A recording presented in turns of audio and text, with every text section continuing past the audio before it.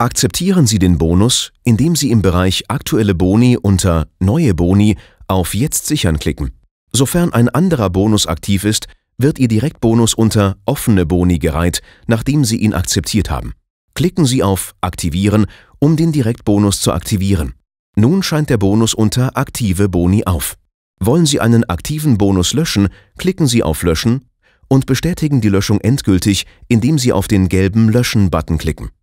Mit einem Klick auf Ihr Guthaben rechts oben sehen Sie Ihr auszahlbares, eingeschränktes und gesamtes Guthaben. Platzieren Sie Sportwetten mit einer Quote von 1,7 oder höher, um den eingeschränkten Betrag freizuspielen